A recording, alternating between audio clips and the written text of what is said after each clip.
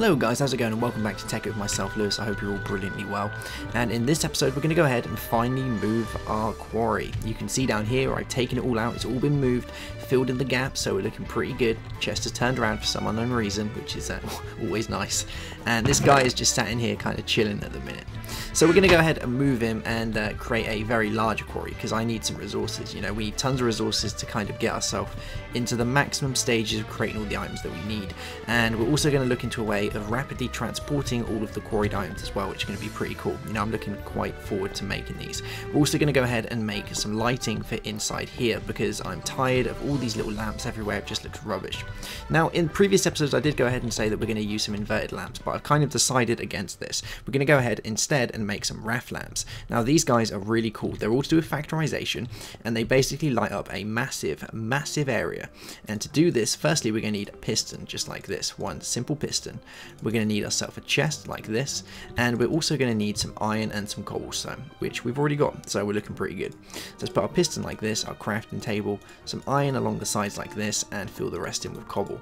And this guy is going to give us a craft packet stamper. If you guys don't know what a craft packet stamper is, it's all to do with factorization. Basically, you can make craft packets, basically put them in here, and it will stamp them and give you the item. The craft packets can basically be a recipe of your choice. If you uh, don't know about it, then go watch my Feed the Beast series because I did cover it quite a bit on there.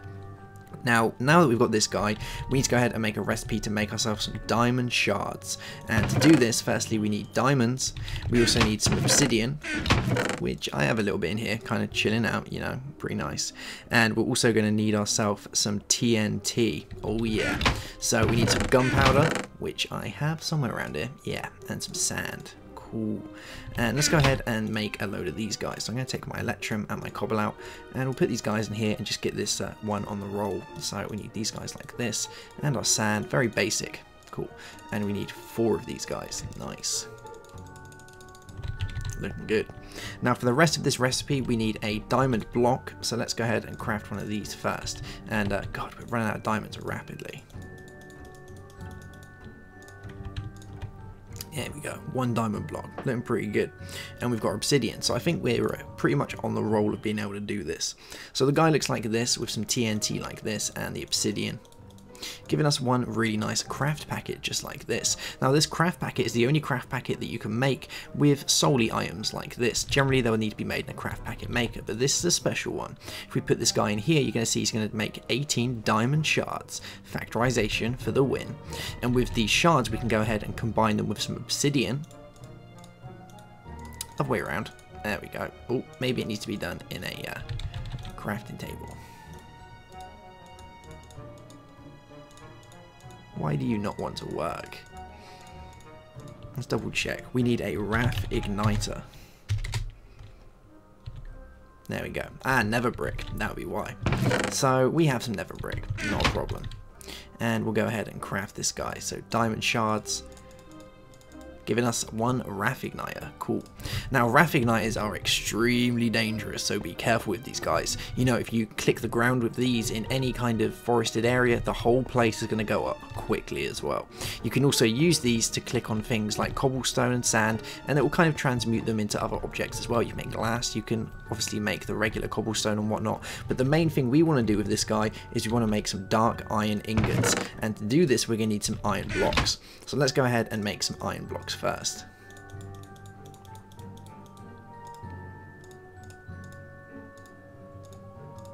Mm, we use we don't really need six to be honest, we only really need four. We probably even need less than that, but at least we can go and turn them back if we don't need them in a later time. So we're going to go ahead and just throw these guys like this, and be very careful when using this that's going to go ahead and light the blocks. You know, you can actually go ahead and burn iron with this guy. Really cool. And make sure you stand well back because it will set you alight if you kind of get a little bit too close to it, which is definitely not what we want. Now, if you just leave it, this guy is going to slowly burn these blocks and make these dark ones you can see here, which are dark iron. After a minute as well, they will catch a light, so just be ready to kind of put out the blaze. There we go. Cool. And we're left with these guys. If we mine them up, we get some block of dark iron. Cool, let's grab all of these. Nice. And throw these in here, giving us dark iron ingots. 16 of the bad boys, liking it. And with this, we can go ahead and make a Wrath lamp. So to do this, we need some silver, which I probably have some silver in here. Yeah, of course I do. And we need some glass panes. Nice, we got glass panes as well. So to do this, we put our glass panes like this, just like this, looking pretty good. And we need a Wrath igniter, which is going to sit in the middle cool. And every time you use the Wrath Igniter, you can see the damage bar on it. I think there's something like 8 uses out of it, so it's quite expensive because you need the diamond shards to do it, but it is one really cool thing. And we need our dark iron like this, and our silver giving us some Wrath lamps looking pretty nice now I want to go ahead and craft a few of these so I'm going to put this guy in here this guy right in here we'll put our glass panes back in here as well and just see how many of these we can get out of it so we've got one two three and really we want one more. So I'm just to go put these bits back in here. And I think we need a little bit more of the silvers. Yeah. Where is my silver gone? I'm sure we have some more silver. Yeah. Cool. And we just put these like this, making one more of these guys. Cool beans. So these are going to illuminate the area really well. I'm thinking of kind of spacing right here, so we'll probably go one, two, three, four, five, six. Yeah, we'll go around and do it this way. Alright guys, I'm going to go place all these and clear up all my torches and we'll be right back. Cool, looking pretty bright in here. No more torches, which is what I love because I've had more than enough hassle with all these torches everywhere just blocking the place up. It's nice to see no torches. And everything is looking fine and dandy. There's been no spawns in here so far, fingers crossed, and everything's looking pretty light. So I'm loving these guys right at the minute. So now we're going to move on and actually start being able to transport our quarry over to a new area and get a bit of uh, power going to it and getting some items on the go. And to do this, we're going to make a tesseract. We're actually going to go ahead and make a couple of tesseracts. If you look in here, I've got a load of stored up ender, so we're looking pretty good with our uh, liquid ender, and this guy's needed to make the tesseracts. So to make a tesseract frame, which you need to be able to make before you can fill it with anything, uh, we're going to need a few bits and bobs. So we're going to need some diamonds in here. I'm just going to take this guy out of here. We need some diamonds, which, and we're going to make two of these guys as well. We need some hardened glass, which is going to throw like this. And we need ourselves some tin. And I'm pretty sure I have tin somewhere in here. You know, I've always got tin kind of hiding around somewhere. Or it might be in here.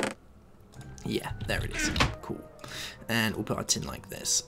Pow, giving us some Tesseract frames. Nice. Everything else can kind of go back in here and just chill for a little bit. With these frames, you want to go ahead and combine them with our uh, liquid ender by throwing them in here cool and he's going to go ahead and do this uh, it uses something like 1800 1600 of your liquid ender of the uh, MB so it's quite a bit you know so just be wary of that in the meantime, we're going to go ahead and make the items that we needed to actually turn this guy into a item tesseract. If I show you here on NEI, you can see there's multiple different types. You have energy, liquid, and item tesseracts. Once this guy is filled up, we're going to be given an unattuned tesseract. If we check the recipes out, we have redstone conduits, lead, silver, and electrum, and each one is basically the same type of thing, just using different ores. We have pneumatic servos on these guys though. Cool. So we're going to go ahead and make a few pneumatic servos, which we're going to need for this one. And to do this, we need redstone, iron, and glass. So we've got a redstone, which we're just going to pop here. We have some iron kind of chilling out, and we have our glass. Nice. And we're just going to make two of these guys. Cool. And let's just see how our uh, things are doing. Nice, we got two. Cool. So let's go ahead and get all these bits and bobs together. So the recipe to turn these guys into item tesseracts is your uh, tesseracts in the middle, like this. Your servo is going to go down here, like so and we need ourselves some silver and tin. So where is all my stuff? Cool, we got some silver. We probably might need a little bit more though. I think this could be it. I don't know. We'll find out. And we have our tin like this. Cool, giving us some some item tesseracts. Cool, we got two of those. Now with this guy, I'm going to just plop one of them. Hmm, where should we put it? Just put him here. Cool. And we're going to go ahead and make a chest so that we can get this guy up and run it. So I'm just going to make a regular chest and we're just going to keep upgrading it all the way until we have like one of the best chests. Uh, we've got iron. Uh, no, that's a crafting table. what am I doing? one of those days. Cool, right. Now we have a chest.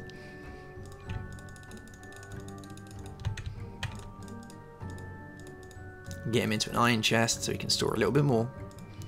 Then we're going to turn him into a gold chest so he can store lots more. Then we're going to make a diamond chest like a boss, if we had more diamonds that is. Oh, we haven't got any more diamonds. Hmm, Okay, that's not a problem. We can make some diamonds.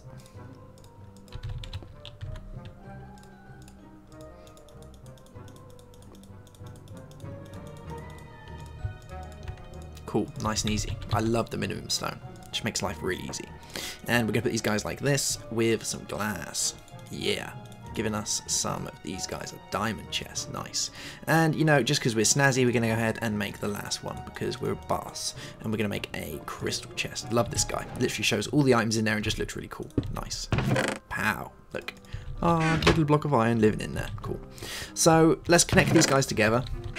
Just use some red, some regular cobblestone transport pipes. And note when I put it down, it doesn't connect to the Tesseract. Now, the reason it doesn't connect to the Tesseract because the Tesseract at the minute is device inactive. You can see here, it needs to be given a frequency. So we're going to go ahead and just give it frequency 1. And it's to be known as item Tesseract. Cool. There we go nice and easy. Once you first use the Tesseract, you'll find that this one will be free. You'll actually need to go and write it all in yourself. I was playing with Tesseracts earlier, so I've already got these guys in here, but we could go and change it to whatever we like. You know, we should call it item or whatnot easy. And once this guy has been given a name and a frequency, you're going to see that it connects up to this guy, looking pretty cool. And once they're connected, it can then be used. Obviously, bear in mind with the other Tesseract that we have, we are also going to have to connect it to frequency 1 if we want it to be able to connect like that. There are some other cool features of these as well. If we go in here, you can look at the configuration tab. We can actually change the public access, and we can also change it between send and receive. So this guy here is going to be receiving only, because he's going to be receiving the items. We can also change the redstone current and whatnot well. So at the minute it doesn't need a signal, but we could change that if we wanted to change it. So next up on the agenda is to get our quarry up and going. So I'm going to make myself some uh, lapis. Where are you? There you are. Cool. Get free of these landmarks. And I'm probably going to want one more, I think, as well. So let's grab another one of these. Nice. Cool. And what else are we going to need? I want some switches because we need some switches so we can set this big boy up. Nice. Three levers even. Cool. Alright guys, I'm going to go have a little sleep so it's nice and daylight outside and I'm going to find a really cool place to put all of this down. I'll be right back. Cool, so I'm thinking this is where we're going to put the quarry. I've laid this very nice kind of area out here with the landmarks. It's not the biggest it could be, but it's a nice size to kind of get some quarrying on the go nice and quick. Now, I think the first thing we're going to go ahead and do is probably we're going to power some redstone energy conduits, but I do want to set him up so that we can at least start getting some stuff out of him into our tesseracts. So, we're just going to fill these guys along here like this, and bring it down one more, and put our tesseract into here. Nice. Cool.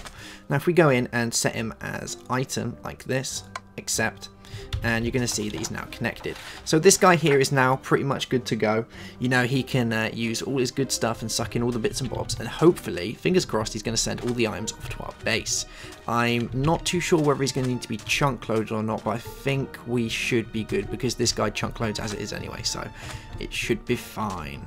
Now let's go ahead and power this guy. Now I want to try and see if I can do it with my redstone energy conduit first, just to kind of get it going. So let's try this, shall we?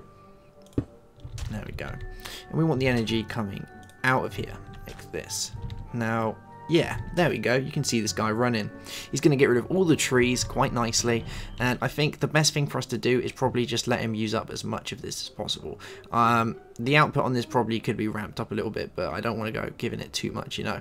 Let's just see how he does like this. So I'm going to be back in two seconds, and we're just going to wait for him to get really building, and I'll be right back.